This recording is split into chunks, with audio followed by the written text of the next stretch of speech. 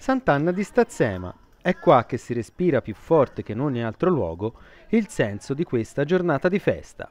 Qua dove si è consumato uno degli eccidi più tremendi della ritirata nazifascista. E in tanti da tutta Italia hanno scelto proprio questi luoghi per festeggiare il 25 aprile, festa della liberazione. Da Rocca Bianca perché il 25 aprile a Sant'Anna di Stazzema? Perché per non dimenticare, per recare una, un omaggio ulteriore a queste persone e a quello che è stato. Quindi nel momento poi particolare che stiamo vivendo credo che la memoria sia un dovere civico prima di tutto e poi un obbligo e una necessità, anche una necessità. In vacanza alle 5 Terre, per il 25 aprile ci siamo allungati fino a Sant'Anna per festeggiare il 25 aprile.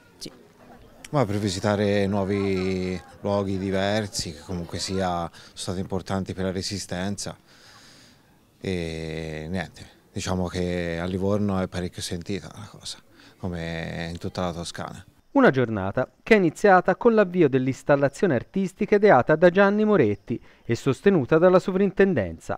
Anna, Monumento all'attenzione, un progetto che prevede l'installazione di 27.000 chiodi a forma di cardo, tanti quanti sono i giorni che avrebbe vissuto Anna Pardini, la vittima più piccola della strage del 12 agosto, con i suoi 20 giorni di età.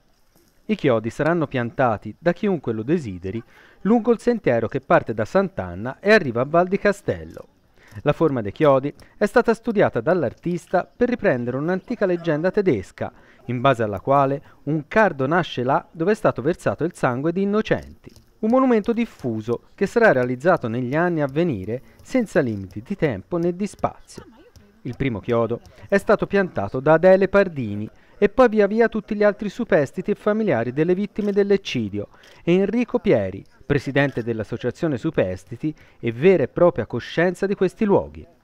Oggi è un giorno importante, il 25 d'aprile, tanti dovevano, anche tanti politici devono sapere cosa è il 25 d'aprile e se abbiamo avuto 70 anni di pace e di benessere è iniziato dal 25 aprile, tutti, rossi e neri, e bianchi.